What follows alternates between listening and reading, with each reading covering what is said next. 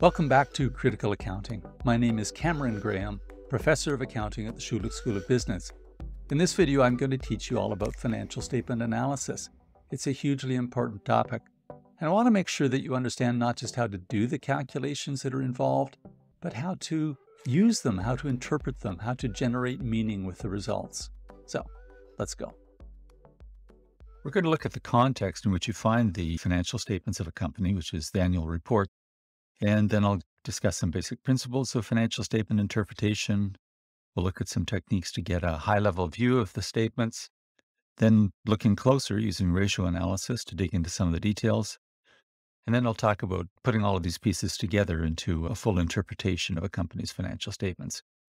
Uh, if you're working in this course, you should be downloading the financial statements for Saputo from 2015 and a corresponding spreadsheet. So you'll be able to practice the calculations that we're doing here. For those of you without access to those files, just listen in and see what you can learn. Annual reports are, uh, they're, well, to put it bluntly, they're a propaganda exercise. They're designed to persuade. And if you are uncertain of whether that's true, you might want to consider that picture on the right there. That comes from the cover of the annual report of Canadian Oil Sands, one of the worst polluters in the world. All of the tar sands companies are terrible polluters of the environment. And uh, to put a picture of a nice little bird there, albeit that his legs are entrapped, it creates a, an image of the company that is quite at odds with the reality of its performance. As my father used to say, using an Air Force expression, an ounce of image is worth a pound of performance. So the uh, image management, the impression management that goes on with the annual reports is sometimes maybe a little bit over the top. Let's look at how the accounting numbers tie into all of this. The production of annual reports is something you have to keep in mind. It's very professionalized. Everything is very carefully worded. There's a lot of wordsmithing goes into phrasing things exactly right, trying to avoid any possible misinterpretation that could lead to results that the company doesn't want to see in terms of, you know, its stock price or unfavorable publicity for the company. And then on top of that, you've got the fact that the production of annual reports is heavily standardized because every company watches what its competitors are doing and tries to make sure that they basically fall in line with industry practices. You don't want to stand out for your annual report. You want to make sure that it attracts positive attention, but you don't want to do anything that's too risky and attract negative attention. Companies tend to repeat what they did the year before and just modify it as little as possible to keep things on track. So there's a lot of copy and paste of text. And then, of course, there's the fact that these companies rely on PR firms to do a lot of the production. So when you've got a body of knowledge amongst the PR experts on how to produce an annual report, and that gets shared from company to company, you get a lot of standardization as a result. The contents of an annual report uh, starts out with lots and lots of pages of glossy self advertisement. I don't see these in the security filings that go directly to regulators, but when you look at the polished annual report that is distributed widely, kind of as an advertising vehicle for the company, there's pages and pages of, of what looks like a commercial for the company. You have a message from the CEO. You have a section called the MD&A, the Management Discussion and Analysis. I always caution my students to look at that last. You want to go into the financial statements and dig into them and trying to develop some questions of your own for what's going on. And by digging into those first and then going to the MD&A and also out to the internet to look at what else has been said about the company, you begin to take control of the production of knowledge for yourself about this company rather than starting with the MD&A and adopting from the get-go the line of thinking that management wants you to take. And there's a reason why the MD&A appears before the audited financial statements. The managers want to shape your interpretation before you even get to them. So something you can do for yourself is to start with the financial statements and dig into those first, and then go to the MD&A. Most annual reports are, of course, going to list the board of directors. Part of the impression management here is to show you how experienced and astute the board of directors is and how meaningful the governance practices of the company are in order that you might trust the financial statements more. It's always worth looking at the diversity or lack thereof on the board of directors. Maybe it's not quite as bad as it used to be 50 years ago, but you'll still see an awful lot of people on the boards of directors who look a lot like me, white males. The MD&A in the annual report discusses the performance of the company in comparison with the rest of the industry. And it breaks down the performance of the company by the different operating entities of the company, especially if it's a diverse corporation with lots of uh, subsidiaries in different countries or for different product lines or different service lines. The performance of each of those entities will be broken down for you. They'll provide additional financial information, and by additional, I mean non GAAP measures. Principles of accounting are conservative and are restrictive on what the company can say.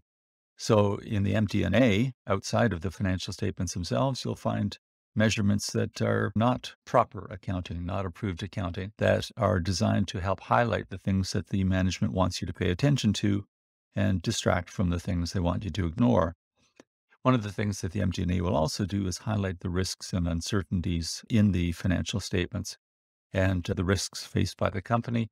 That can be quite useful in helping you to understand what it is that's going on with the company. Keep in mind that, again, a lot of the phrases that are used in that section are going to be heavily standardized across the industry and may be less revealing than you'd want them to be.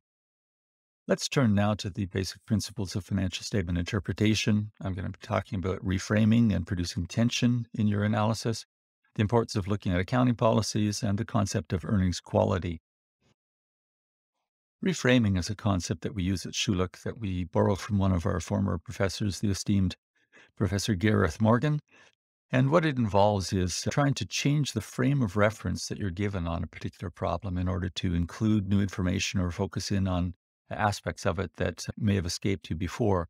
By changing the frame of reference with a set of financial statements, you are altering the window that the corporation has set up for you to look through. And so one of the ways you can do that is to produce external comparisons, right? So the corporation says we had 6% profit this year. That's great. You can look at the average for the industry and find out how that compares. You could benchmark the company against a leader in the industry to see whether that 6% profit margin is actually all that good.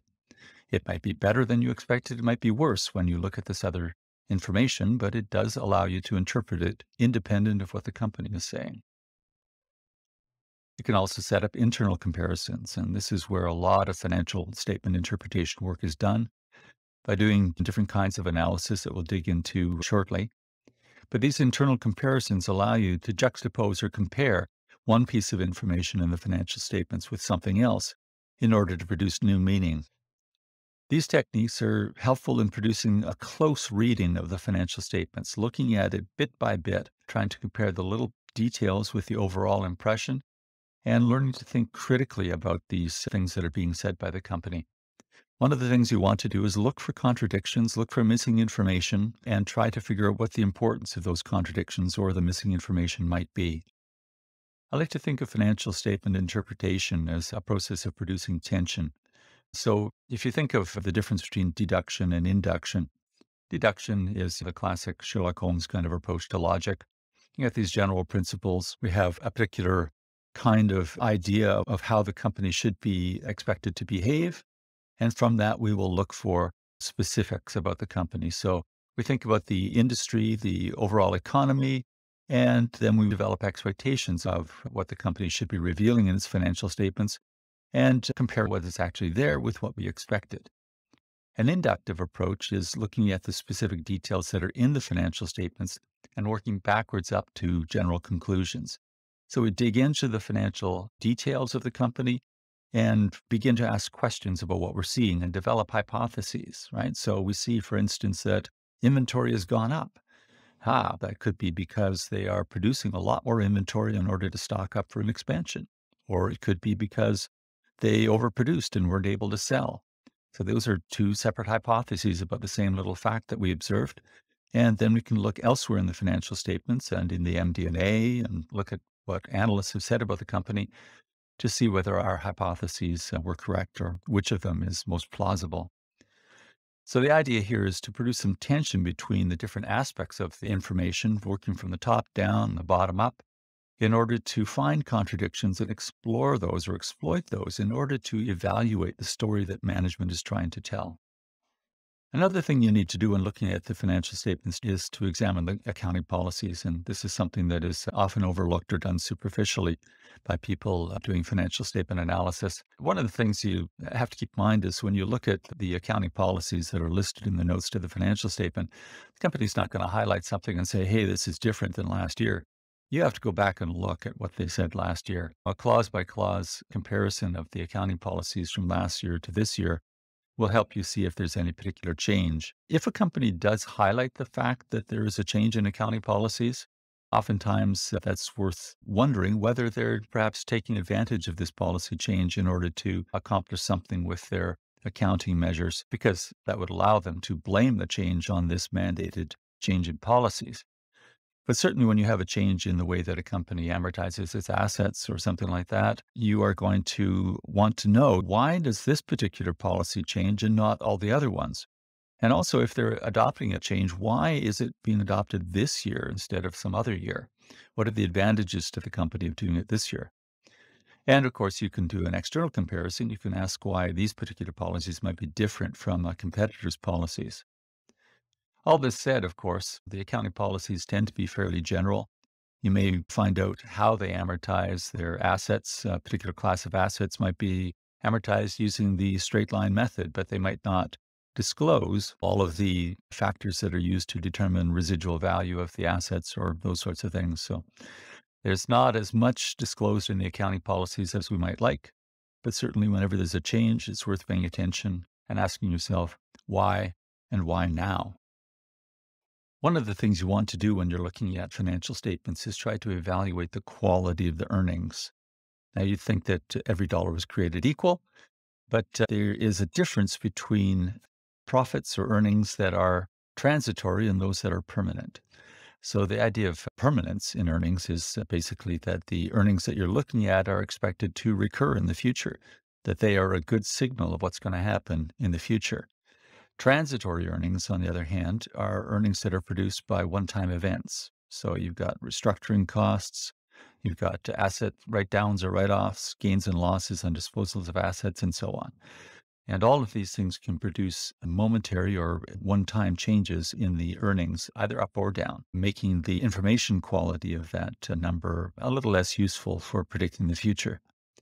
You also want to look at whether the earnings are subject to undue management influence by changes in accounting policy, as we just saw, or by the exploitation of hidden reserves. That's a concept that we'll look at in more detail when we get into looking at things like accounts receivable.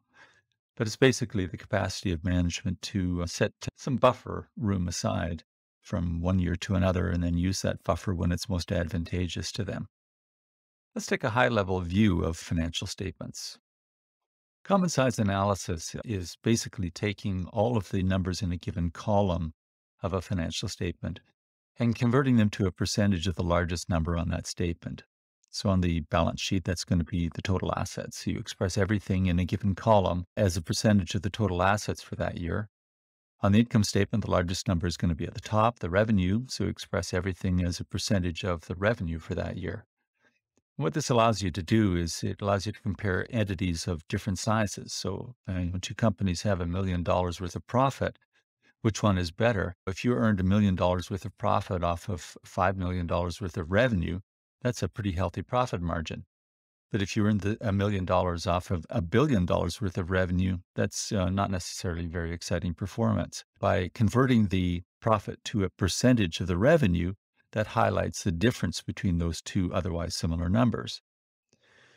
In interpreting a, common size analysis, you want to think about the business model of the company. And you want to be looking for items that you know matter the most. What are you going to focus on? The kinds of things that you're looking for would be the things that are most relevant to that particular kind of company.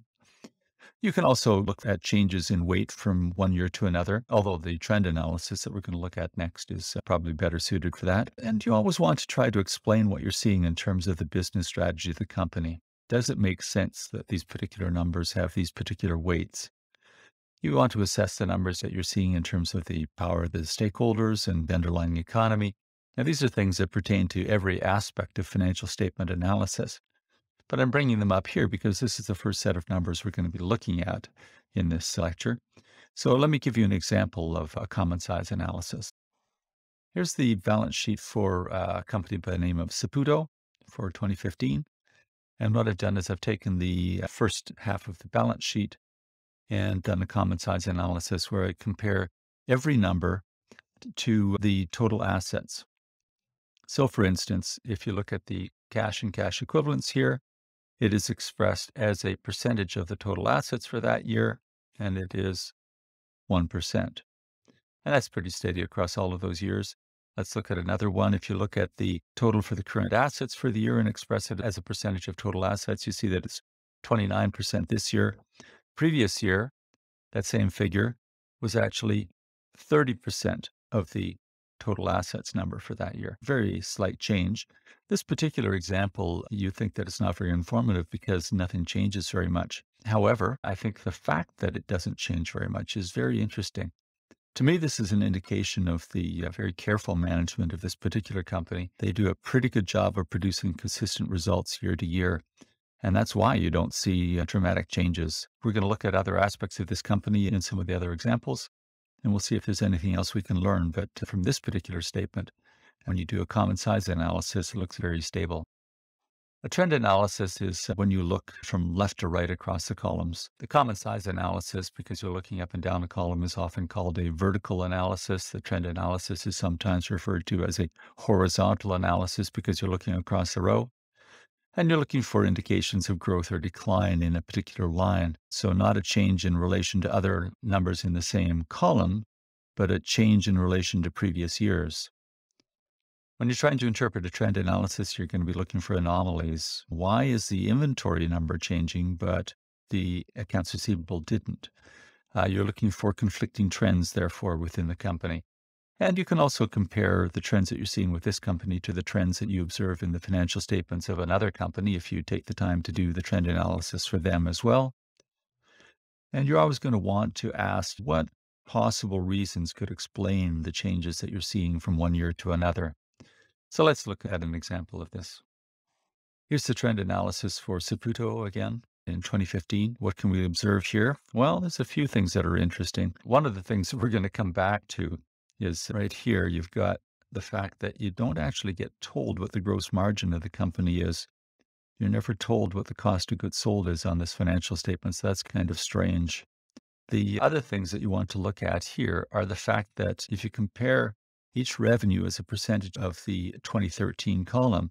Let's work from right to left. So, of course, 2013 divided by itself is 1. 2014 divided by the 2013 number is 1.27. And 2015 divided by the 2013 number is 1.46.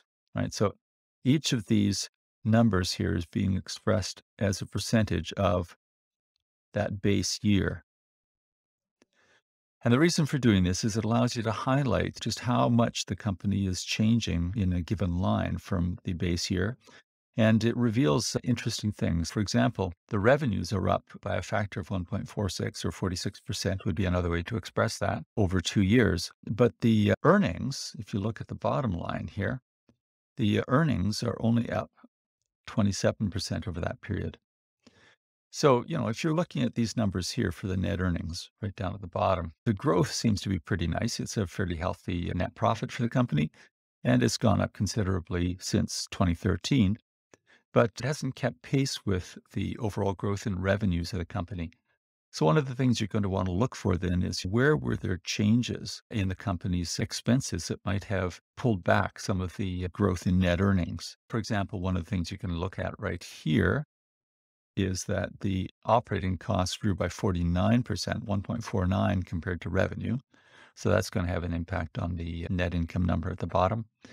And uh, you have to watch for the numbers that are actually important, the ones that are material, because one of the numbers that's going to catch your eye over here in the trend analysis section is this one right here. That's a huge growth. So compared to the 2013 number for that line, it's grown by almost a factor of five, almost five times as big. But then you go over and you look at the fact that these numbers are quite small in comparison to the rest of the uh, numbers on the statement. And you realize it's just not a very significant number to be paying attention to. So, unless you're actually trying to do an analysis of their finances, the way that they're financing the company and the uh, interest payments that they're making and so forth, you're not going to gain too much information from that because it's although it's grown dramatically, it's a very small number to begin with. Trend analysis is always going to cause you grief if you try to do the impossible. So you notice, for instance, that right here, there is no number for the 2013 year. So there was no gain or disposal of a business unit in 2013. So that number was blank, or in other words, zero. So if you try to take that number and divide it by the base year, right, you're going to get a divide by zero error. So uh, I've just left those numbers out of the Excel spreadsheet right there because they would not be informative. Here's another number that we just looked at that's quite small compared to the other numbers of that on that line. And so you get some pretty dramatic numbers here. So this is really not a very useful kind of analysis tool to use when you're talking about small numbers in the base year. So it's worth looking at at any rate, and you can gain some sense of appreciation for how the company is moving forward over time. All right, let's look at ratio analysis. I like to uh, categorize the different ratios into different tool sets. And uh, it's useful to think of your overall approach to analyzing the company's statements using ratio analysis in three ways. You want to assess the financial position of the company, the financial performance of the company, and the cash flows. One way of thinking of this would be to think about evaluating an athlete who is uh, preparing for the Olympics the uh, financial position of the company corresponds to the fitness of the athlete. You expect a weightlifter to be strong, you expect a marathon runner to be lean. And if they've got the wrong body mass for the sport that they're in, they're not necessarily going to do very well. That allows you to assess what the potential of the company is. The financial performance would be akin to the actual performance of the athlete in their event. A sprinter, how fast did they run? A weightlifter, how much did they lift? How do they use their resources in order to achieve a particular performance? Cash flows, if we can extend the metaphor a little more crudely, cash flows would be akin to looking at the diet of the of the athlete. Are they taking in the right fluids and the right food types in order to produce the best performance? So, the financial position of the company. What resources does the company have to meet the obligations that it's got and also to achieve the strategy that it has in mind? It's useful to distinguish between liquidity and solvency when you're looking at the financial position of the company. Illiquidity is not having enough cash to meet the operational needs of the company over the short term. Insolvency is when you don't have enough resources to pay off all of your debts. That's a longer term kind of a problem. It's important to realize that a company can be solvent but can still die from illiquidity. If you uh, have the prospects of producing enormous profits by the end of the year, but halfway through the year you run out of cash to pay your employees, everything will come to a grinding halt. Both of these situations are often resolved by negotiations as opposed to some legal or regulatory rule. And the results of these situations tends to depend on who has the power. Might be the bank, might be the union, might be some supplier that has a particular hold over the company and can achieve some kind of an outcome that favors them. To look at liquidity is to answer the question of whether there's enough cash in the company to pay the bills. And by cash, we need a looser definition of liquid assets. If you look at the current ratio, which is the most basic of these, you're comparing the current assets to the current liabilities. The current assets being all the uh, assets that are going to convert into cash or cash savings this year. The current liabilities being all the obligations that are coming due this year. And if you've got enough current assets to cover or meet all of those liabilities, you're in good shape. The bigger the number, the better, but you certainly want it to be greater than one. The quick ratio is a more restricted look at this uh, similar concept, but you're only including those assets that are already liquid. So cash, liquid investments, and accounts receivable that you would expect customers to pay without too much chasing them down. Now, since the current assets are listed in order of liquidity, you tend to have the cash and the accounts receivable up at the top. And then partway down the list would be the inventory. And the idea is that anything from inventory on down is considered illiquid because you actually have to do a lot of work to convert the inventory into cash. You've got to go out and sell that stuff, and it's not easy. And uh, below the inventory is often things that are not going to turn into cash. For instance, prepaid expenses no matter how long you wait, they're never going to turn into cash. They're not included in the quick assets. This ratio is often less than one, but uh, you want it to be as healthy as you can. And certainly a change in the quick ratio from one year to another might indicate that things are getting dramatically worse or better in terms of the ability of the company to pay its bills. Let's look at an example of using the current ratio and the quick ratio to analyze the liquidity of a company. We're looking at Saputo again for 2015. And for the current ratio right here, what I've done is I have calculated the ratio of the current assets in each year to the current liabilities. And the thing that sticks out here is this number here jumping up to 1.7 from 1.1 in the previous year. What is driving that? I suspect if you eyeball the lines here, you'll notice that the inventory number right there is up quite a bit compared to the, the first year. That's one of the things that would be uh, changing the amount of the current assets in relation to the current liabilities. Are we noticing any drop in liabilities that would also drive that? Well, there's one right there. You've got a change from the previous year from 310 down to 100 and some odd thousand dollars in the bank loans. And if you look into note nine, you will see a little more information about that. That's pointed out right there. So if you add up the assets that are considered quick, then that would be the next thing to do. Let me just clear these things out of here. The quick assets are those that are considered to be more liquid than inventory. So here you've got your cash and cash equivalents and your accounts receivable. For this particular company, there's nothing left. But the inventory is considered not to be a quick asset because it takes work to go sell it. And anything that is listed lower than inventory would be considered even less liquid. For example, prepaid expenses, you're not going to be able to convert that into cash. What that is, is money that you already spent in a previous year that is going to save on the payment of bills later on but it's never going to turn into cash for you to pay other obligations that are coming up. So, what have we got here in terms of the uh, quick assets? We have the totals down here that I've calculated, which is simply the sum of the uh, two numbers up at the top there in each column.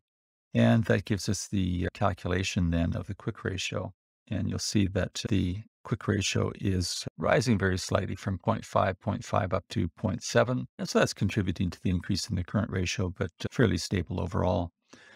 So what does this tell you? Uh, it tells you that this company is fairly liquid and uh, improving in its liquidity. One of the common calculations that's done to analyze the ability of a company to deal with the debt levels that it's got is called the interest coverage ratio. And I've shown you a couple of ways of calculating it here the point of showing you two ways of doing it is to try to wean you off of the idea that there's always one accepted way of doing these calculations. Often there's variations on each of these calculations that we're looking at today. And you need to be aware of the nuances and decide which one is most appropriate for you, given the company you're looking at. So let's look at how these calculations play out. The general idea, looking at the earnings statement for Saputo for 2015, is to start with the net earnings and then back up to some point above the interest expense to see how much of the margin of the company is left over when you get to that point in the statement. And here is the uh, interest expense right there, interest on long term debt. But curiously, you've got this other line here, which is other financial charges. If you look into note 13, you'll see that other financial charges is not really specified in much detail. That could be commissions that are paid on the issuing of debt, for instance. If you're looking at issuing bonds, there might be a lot of overhead involved in getting those arranged and floated on the stock market. Whether that's considered an interest expense or not is certainly subject to interpretation, and you need to think about what that line means when you look at the calculation that you end up with here. So, what else have we got here in terms of the calculation? Well, if you just look at the net earnings number, and back up to the point that we are just looking at interest and long term debt, the interest coverage ratio that you have then is basically going to be the subtotal to this point, right? So taking all of these things down to this point here, what would be the total that you've got at that point in terms of profit margin, uh, divided by the $54 million figure there. Uh, that would give you a calculation at this point of 17 for 2015 and slightly lower for 2014 and slightly higher for 2013. So it means that in 2013, they had a better ability to cover the interest expense. That's largely due to the fact that it's quite a bit smaller there. You can see that number there. And then in 2014, it dropped. 2015, it went back up. So that's all well and good.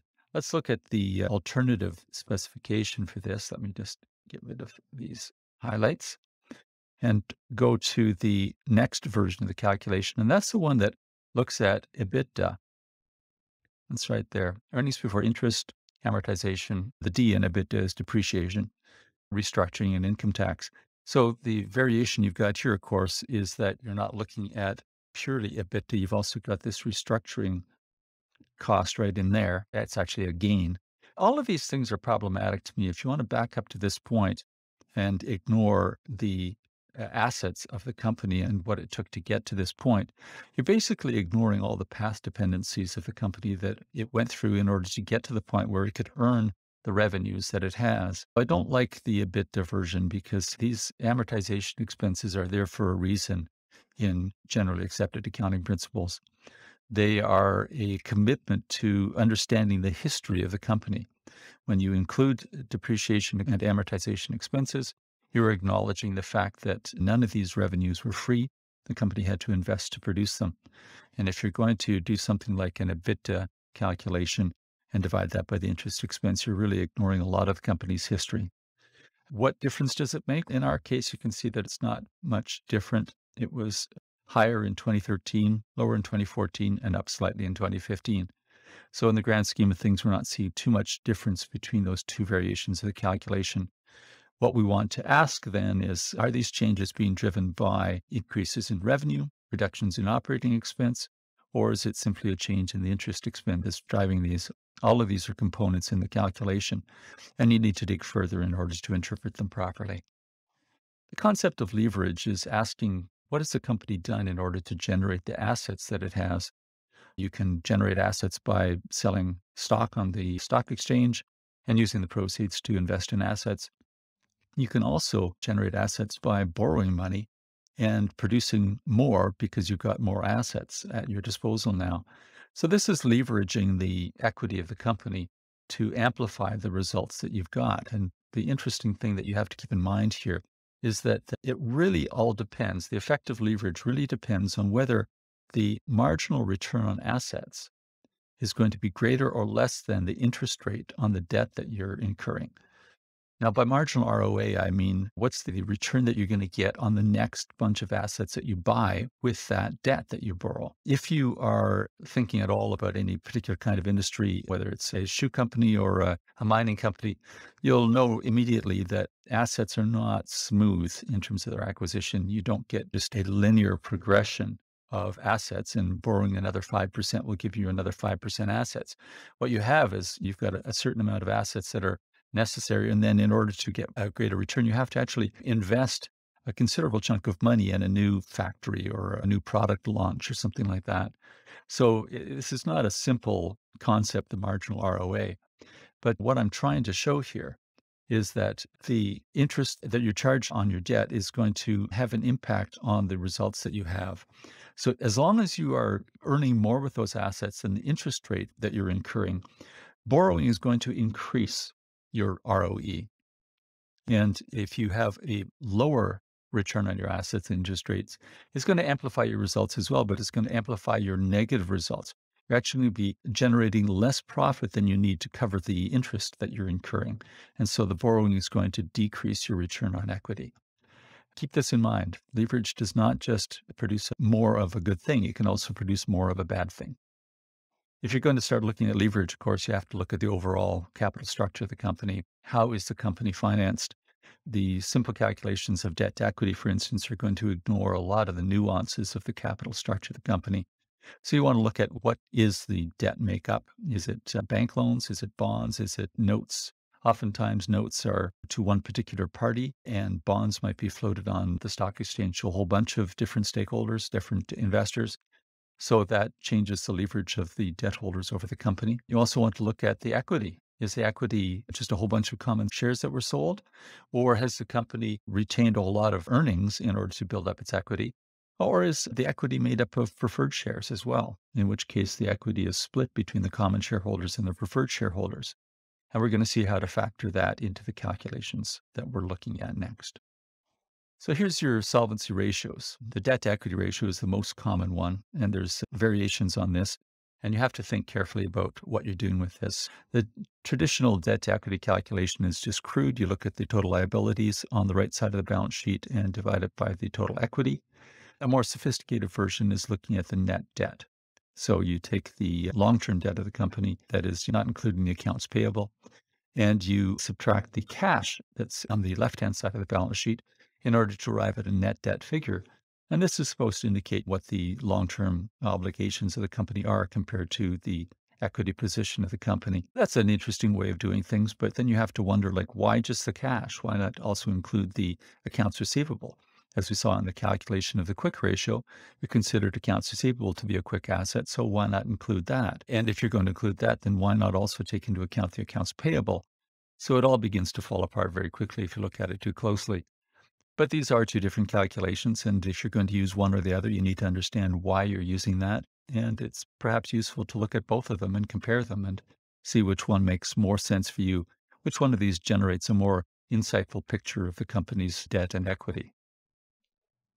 The long term debt to equity is a simpler version of the net debt. You're just looking at long term debt rather than all of the current liabilities of the company, dividing that by equity. Again, just a variation on the theme.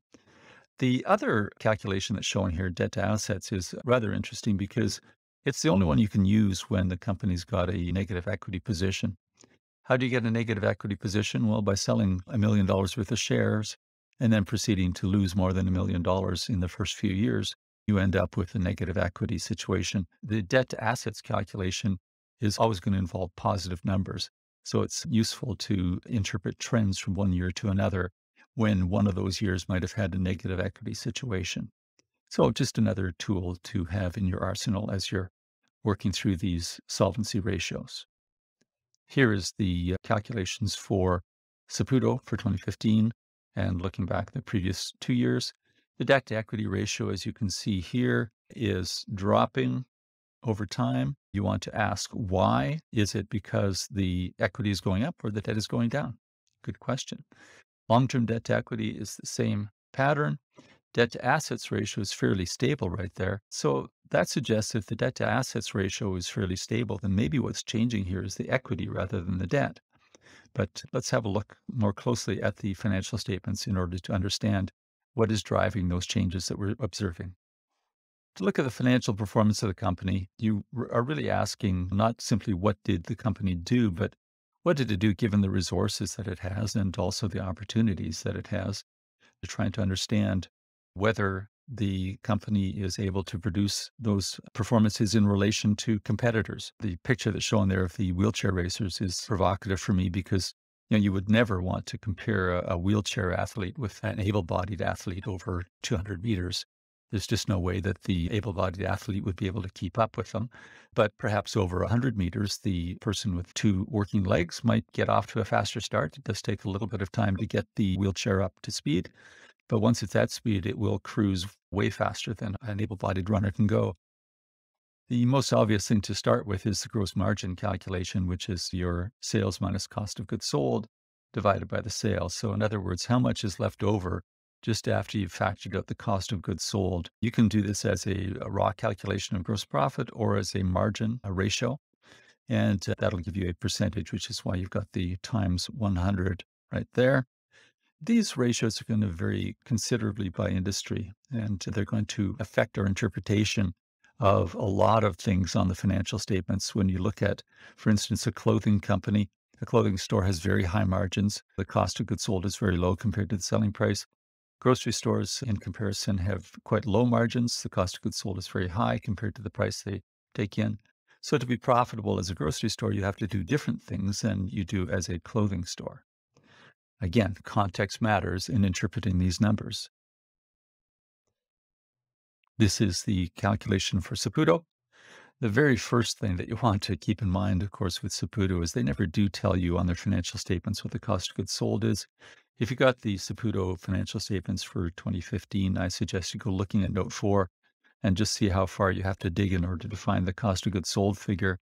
But I've taken that and plugged it into the spreadsheet here, calculating the gross margin and the gross margin percentage, you can see that there's very little change for this company over time. It's a very stable company, quite profitable. A drop from 20% to 19% gross margin is insignificant for a company like Saputo because they're supplying milk products and cheese to uh, grocery stores. For a grocery store, if its margins were lower, say 3 or 4%, then a drop from, say, 4% to 3% would be of greater concern than Saputo's drop from 20 down to 19.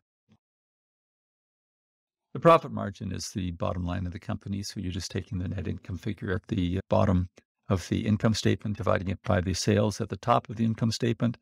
The calculations for Saputo are fairly straightforward. And you can see again, it's a very stable company, not much change over time. And a company, uh, by all appearances of the financial statements, seems to be quite well managed and quite stable. The return on assets calculation is really interesting to me because uh, you have to really think about what's going into this calculation if you want to come up with an appropriate calculation. The simplest way to do this would be just to take the net income and divide it by your total assets. So there's two nuances in this calculation that I'm showing you here. The first is that you should really be using the average total assets on the bottom, not just the total assets at the end of the year. And that's because the income is something that was produced over the entire fiscal period and the company did not have the total assets at the end of the year at its disposal during the year. Ideally, you would want to take some kind of an integral that would factor in the change in total assets on a daily basis, but that information is not available to you. The best you could do would be quarterly, a simple approximation of the assets that were at the disposal of the company throughout the year is to take an average of the total assets at the end and the total assets of the previous year to give an average for your denominator. That's, I think, something that really needs to be taken into account for all companies, especially where there is growth, because the total assets could shift considerably from one year to the next. If the company is quite stable, there's no change in the total assets that's appreciable, then go ahead, use the ending total assets figure if you want. The same goes now for the nuances on the top of the calculation.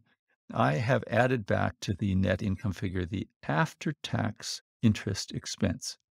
And I'm going to show you why this is done and exactly how it's done in the next slide. The calculation here is intended to isolate the return on assets, so the performance of the company compared to the assets at its disposal, isolate that from the way that those assets were obtained. So if the company obtained its assets through equity, that will produce a certain net income. If it obtained its assets through equity and debt, then that's going to produce a different net income figure because of the fact that net income also has the interest expense as a component. So let's look a little more closely at that calculation. Here's how the after tax interest expense is calculated. This is a very crude example, but imagine that you've got a company that is facing an income tax rate of 20%. So if that company is entirely financed by equity, Let's assume for a second that its earnings before you get to the interest and income tax line on the income statement is 1000. It's got no debt, it's got no interest expense, and so it's got $1000 left over. And the income tax on the $1000 at 20% is 200, and therefore you have $800 of net income. Now imagine the identical company but a version of it that's financed by debt. And it has a certain amount of interest. We're just going to say, for the sake of argument, that its interest expense that year was 100. So that leaves only $900 of taxable income, right? So exactly the same company now has lower taxable income. 20% income tax on 900 is 180, which gives us a net income of 720. So both of these companies have produced exactly the same performance with their assets. The only difference is that one has incurred an interest expense. So it looks like the company on the right had higher performance than the company on the left. And if you simply divided 800 by the assets, you would end up with a higher figure than if you divided 720 by the assets. So that's not a fair comparison, not a useful comparison, certainly. Let's, uh, for the sake of argument, add back the interest expense and see what happens. Well, if we add back the entire interest expense, then we overcompensate. We end up with a figure of 820. So now we're unfairly privileging the company that took on debt. What do you do? You calculate 1 minus the tax rate. In this case, the tax rate is 20%. 1 minus the tax rate then is 80%. And you multiply that by the interest expense. Here's the interest expense up here, 100 if you multiply those together, you've got 100 times 0.8 is 80. And if you add that back to the 720, you get 800. And now you've got a fair comparison.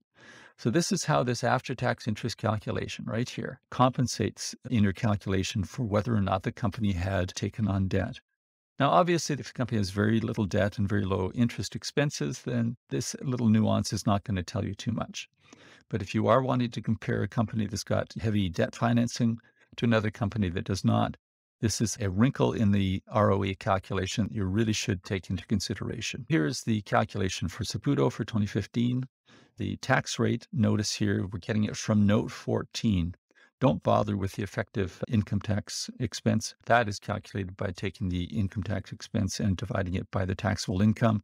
But that is so heavily influenced by factors related to the timing of tax payments that it's not really very useful to you dig into the notes, in this case, note 14, and look up what the statutory tax rate is for the company. And in this case, you can see it's been fairly consistent at around 28% uh, for this company. It's based in Quebec.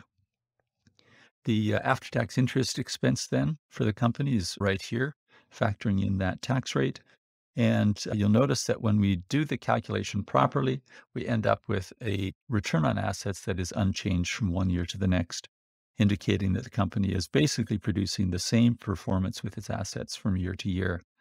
The other thing to notice, of course, right here is that you don't have any calculation for that third year, and that's because you are using the average assets on the bottom. And if you only have three columns of numbers to work with, you are missing the piece of information to calculate the average assets in that initial column. So if this is 2015, 2014, 2013, you do not have in the spreadsheet the previous year's assets in order to do the calculation properly. Beware that if you're just copying numbers in a spreadsheet, copying formulas across, you could end up with a, very nasty error right in this spot right here because you wouldn't necessarily notice that your calculation was picking up a big fat zero over in that column and distorting the denominator of the calculation. The return on equity calculation is looking not at what the managers did with the assets, but whether the investors are getting a good return on their investment. We're talking about the common shareholders here, so we factor out the uh, preferred dividends of the company. Any net income that the company produces is available to pay dividends to the shareholders. But if part of that has to go to the preferred shareholders first, we should factor that out. Oftentimes, companies don't have any preferred shares, so that makes no difference. So check the capital structure of the company and the notes to the financial statements to find out whether there were any preferred dividends that you have to keep in mind here. And again, of course, you're wanting to use the average for exactly the same reasons as I just uh, talked about with the ROA calculation. You want to use the average common shareholders equity. So the net income divided by that will give you these calculations that I'm going to show you for Saputo. There were no preferred dividends for the company, and the ROE drops slightly from one year to the next, from 2014 to 2015. Why is that? Well, it could be that the net income dropped, or it could be that the equity went up. So why is that? One of the things to think about is that the ROE is driven by the equity calculation, and the equity calculation has the retained earnings in it. So you would expect that all things being equal, if the company continues to generate net income and retain that earning in its equity section, that if it doesn't do anything with that equity, if it doesn't reinvest in more assets, then it's going to continue to produce the same net income with the same assets. But the equity is going to grow and grow, and therefore the ROE is going to decline. Here is a version of the ROE calculation that's interesting because it allows you to break the ROE calculation out into the various factors. What you've done here with this calculation is you've taken the ROE and breaking it into the profit margin, the asset turnover ratio, and the equity multiplier. You can see that if you were to calculate these as a multiplication, that the sales cancel each other out, the assets cancel each other out, you end up with profit divided by equity. So then that is your return on equity calculation in a nutshell. This is a simplistic version of it because it doesn't factor in some of the nuances that we've looked at, but it does help you understand what is driving the various components of the ROE that you're looking at. So here's the uh, DuPont analysis for Saputo. The profit margin is just profit divided by sales, very crude. And we saw before that the numbers are quite steady. We saw those 6%, 6%, 7% figures earlier. The next thing to look at then is the asset turnover ratio, which is the sales divided by the assets. So, in other words, how often is the value of the assets being turned into sales? In this case, the asset turnover ratio has risen slightly from 1.4 up to 1.6. So, it's generating more sales with the assets that it's got on average. And then combining those together, if you take the profit over sales times sales over assets, what does that give you? That gives you profit over assets which is basically ROA. And you can see that the ROA calculation is quite stable over those years. This is going to be slightly different than the previous ROA calculation that we did because it doesn't have all the little nuanced wrinkles in it. This is just a quick and dirty method of looking at the ROA. But if you take that ROA then and multiply it by the equity multiplier, which is the assets divided by the equity, different than the other leverage calculations we looked at, right? This is assets divided by equity. So, in other words, the equity that the company has, how effectively have they leveraged that into assets that they can use? So, the equity multiplier, as you can see, is the one that changes quite a bit here, right? It goes from 2.3 down to 2.2 down to 1.9. And that is really the component for Saputo that's driving the drop in the return on equity calculation. So, again, these ROE figures are not going to match exactly the ROE calculations that we did before but it does show that there is a tendency for it to drop, and it does show us why. And it's because of the change in relationship between the assets and the equity.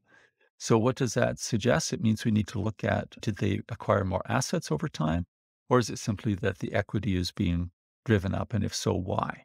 Is the equity rising because they're selling shares? Is the equity rising because they are retaining earnings and not paying dividends? All of these explanations are possible. If you want to apply the DuPont analysis, you need to think about the features of the industry that the company is in. So, for example, a luxury goods company is going to have a high profit margin. Grocery store is going to generate its profit off of low margins, but it's going to generate it by leveraging its assets and selling lots with those assets. And a bank would have a very high leverage because, of course, most of its assets are offset by liabilities to its depositors.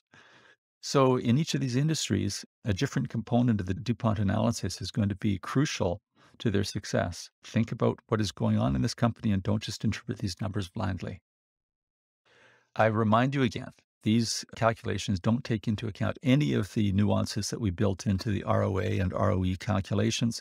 They don't use averages in the denominators like average equity or average assets and they don't handle those nuances like the after tax interest or the preferred dividends in the ROA calculation.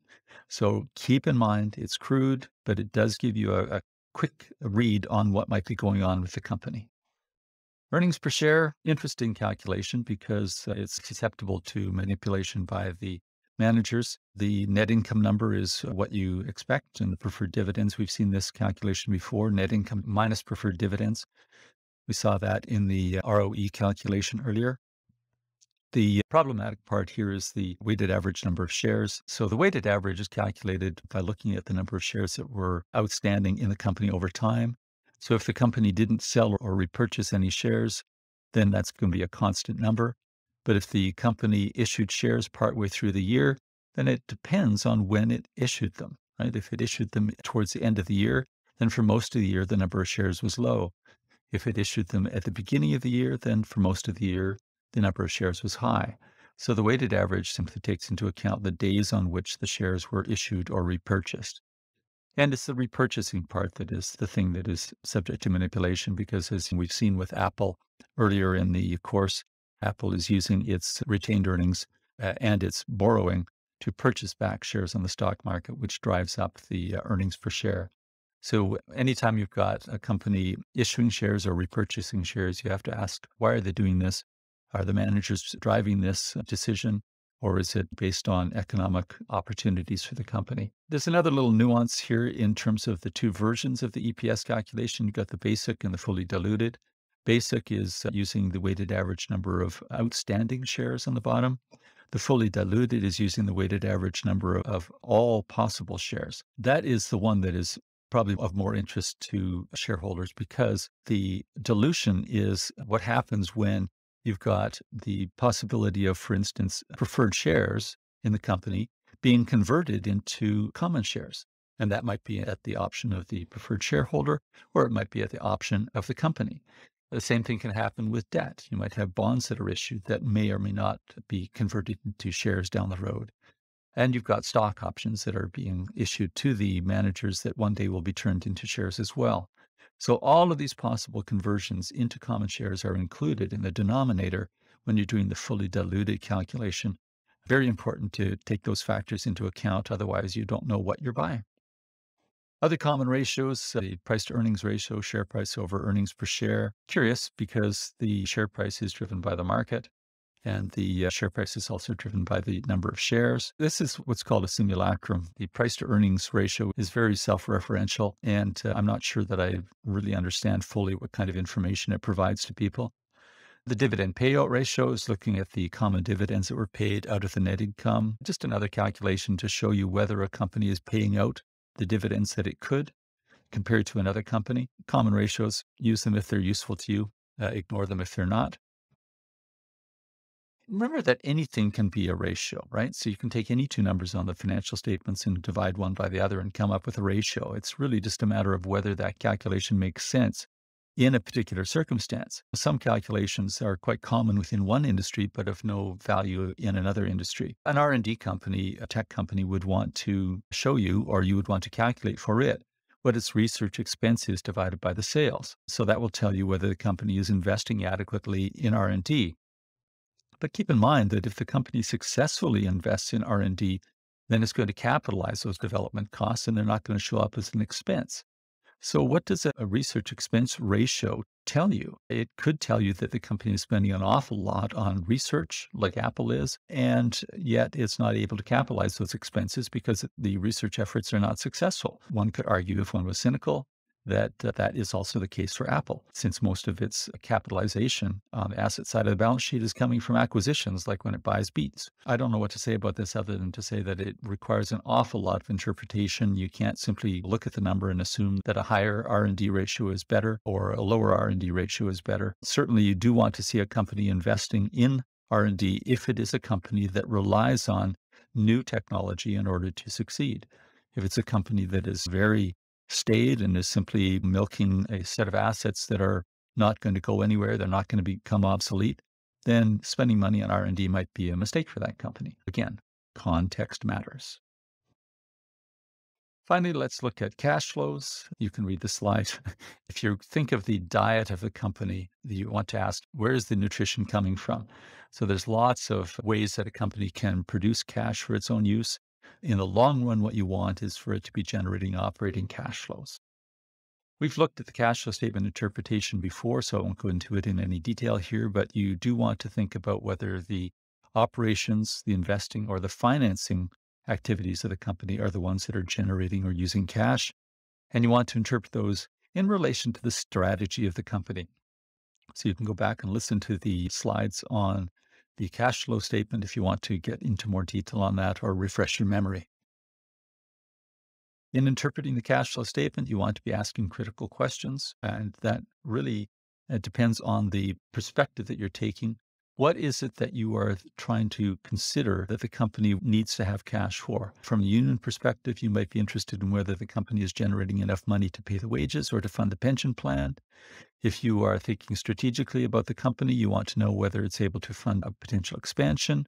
If you are looking at the uh, capital structure of the company, you want to know whether the company is generating enough cash to pay off its debts.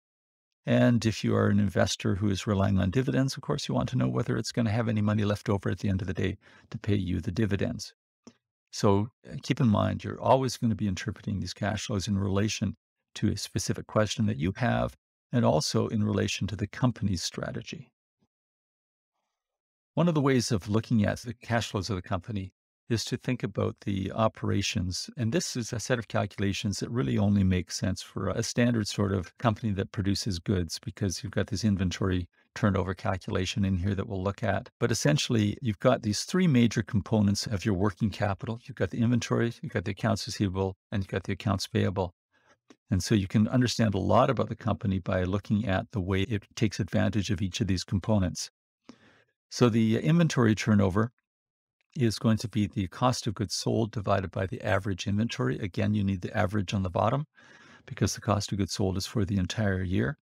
And this will tell you how many times did it run through the inventory. This is going to be industry dependent, of course, because companies like wine or whiskey producers hold onto their inventory a long time, whereas a grocery store, you expect it to turn over its inventory on a very regular basis because, you know, that lettuce is not going to sit around for weeks at a time. So the cost of goods sold divided by the average inventory tells you how many times the company turned over its inventory during the course of the year. The accounts receivable turnover then is credit sales divided by the average accounts receivable. Same concept. How often did it turn over its accounts receivable, billing and collecting from its customers? For a lot of companies, the credit sales is quite obvious. If they're a business to business company, then virtually all of its sales will be credit sales. But for a company like Apple, it's a little more difficult to figure out what the credit sales are. You have to go digging in the notes to try to figure out what proportion of its revenues are sold on credit to business customers and what proportion were sold for cash to consumers. So that information may or may not be easy for you to obtain in the financial statements, but just don't be naive. Don't just assume that the total revenue is all going to be credit. Dig and find out. The accounts payable turnover is a little more nuanced, a little more complicated to calculate because there is no particular line on the main financial statements that you can look at and say, well, that's credit purchases. So what you've got then is you're trying to figure out what did the company buy from its suppliers and how often did it pay off those debts to the suppliers during the year? The credit purchases in the numerator here is a little tricky to calculate.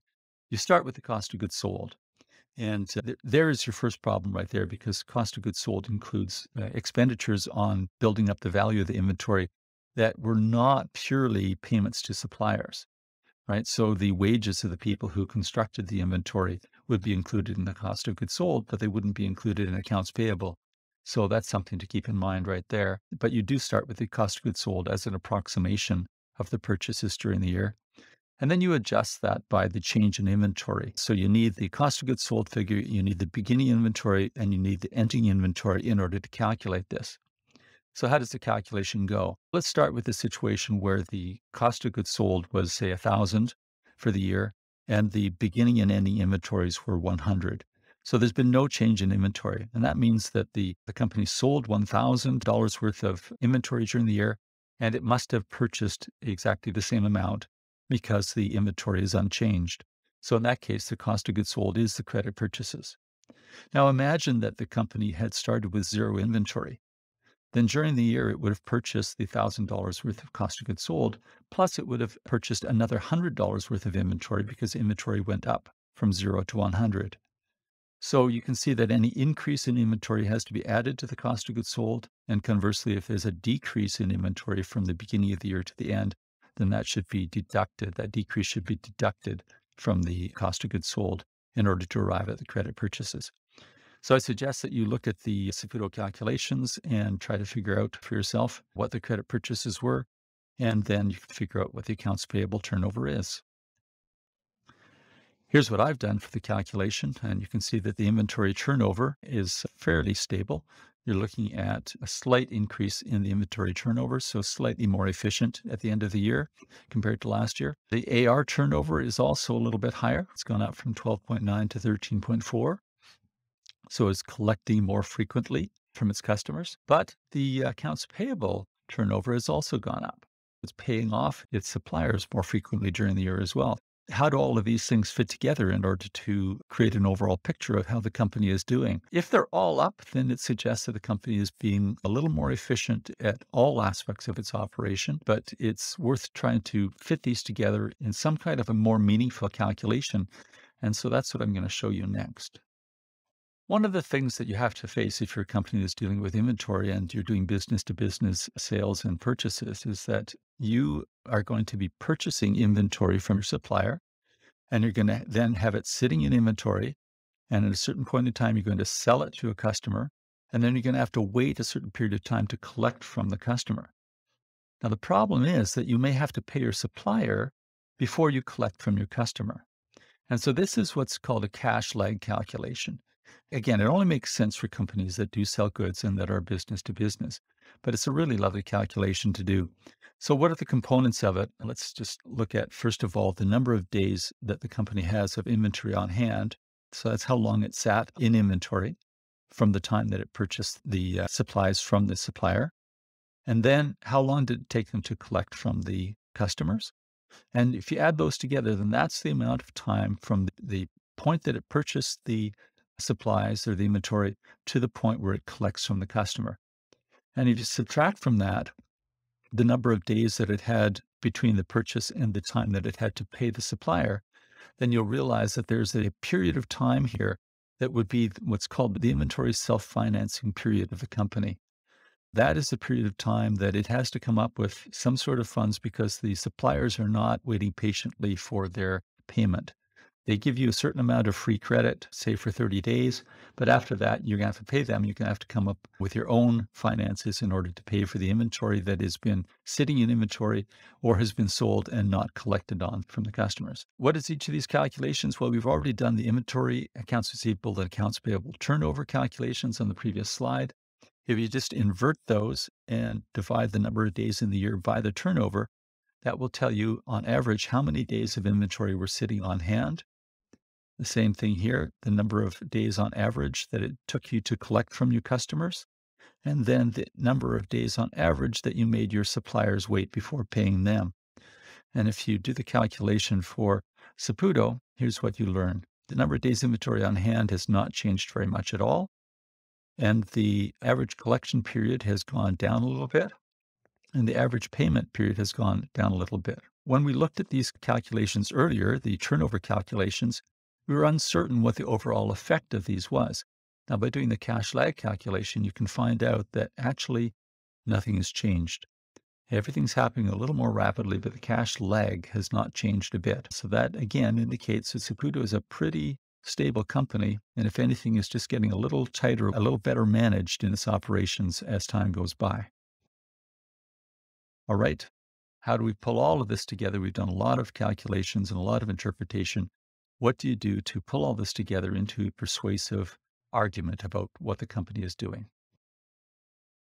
We've looked at the various types of analysis that we can do. We try to use deduction and compare that to using induction. And what you're trying to do here is you're trying to think about what the company does and compare it to what you're seeing in the financial statements. And you are not going to be afraid of contradictions. You're actually going to celebrate when there's a contradiction that you've unearthed in the financial statements, contradiction between one piece of information and another, contradiction between what you thought might happen and what you saw happen.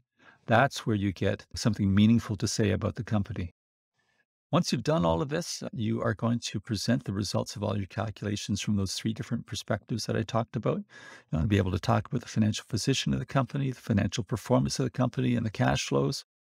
The financial position of the company is largely the balance sheet. The financial performance of the company is not just the income statement, but the income statement in relation to the assets of the company and the equity of the company and the working capital of the company. And the cash flows, of course, you're going to be looking at in terms of the analysis of the cash flow statement and the various cash lag components that we were just looking at. You're going to draw on everything that you've done the common size analysis, the trend analysis, and all the ratios that you've done and you're going to interpret all of this stuff in relation to the context. The context matters. And then you're going to think about how do each of these components interact with each other. All of these things are clues to what you're seeing, and you need to compare them to each other to try and figure out what they mean. So, pulling all of these together, you want to look at the performance of the company, the position of the company, the cash flows of the company within the context that it's operating. And that can be an industry context, it can be an economic context, it can be a strategic context. And uh, you want to look at all of these things and tie them all together. The important thing is to realize that these are not going to add up to one specific thing that you can conclude, that they're all going to point to one conclusion. You're going to have contradictions. And again, you want to celebrate those contradictions because you'll be able to see, for instance, that the company is doing really well in terms of its performance, but you're uh, maybe perhaps a little bit worried about its short term cash flows. Or maybe it's doing well in the short term cash flows, but you're worried that perhaps the company is over leveraged. There's always going to be a perhaps that you want to consider as you are writing up your analysis. Don't be a monotonic. Don't just hit the same note over and over again. This is not the kind of report that is going to be improved by simply adding more cowbell. You do want to make sure that you reach a conclusion, right? However tentative, you want to make sure that you come to a clear conclusion. You know, as a result of my analysis, I think that we should or we should not go ahead with whatever decision we're trying to contemplate. Or as a result of this uh, analysis, I think that this company is or is not a good investment. As a result of my analysis, I think that we should or should not lend to this particular bank customer. So your analysis is going to want to reach some sort of conclusion. And then you can append to that the caveats. However, it is worth uh, keeping in mind that X or Y about the company did cause us concern, and further investigation of that might be warranted before committing to our decision. So that's how you go about writing it up. And I hope that all of this has helped you to understand not only how to do the calculations, but uh, how to use them and how to interpret them. So, what did we learn? We have looked at uh, annual reports and the whole idea of impression management. We've looked at how to reframe the financial statements, and we've looked at the concept of earnings quality. We've gone over all the calculations for common size, trend analysis, and ratio analysis. And we've talked about pulling it all together and writing it up and coming to a conclusion. It was a long set of slides. Uh, there's nothing to be done about that because financial statement analysis is complicated and nuanced. Enjoy the tools that you now have at your disposal and try to put them to use someday soon.